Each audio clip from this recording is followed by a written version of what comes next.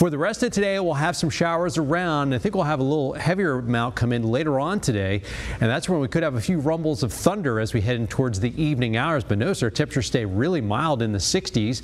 And tomorrow, while there'll be some clouds around and a couple of passing showers, there'll be a lot of rain-free hours tomorrow. And if we break the clouds up enough in the afternoon, we'll make it up into at least the low and mid 70s. If we see some decent sun tomorrow, like we did yesterday for a few hours, we could get into the upper 70s tomorrow afternoon.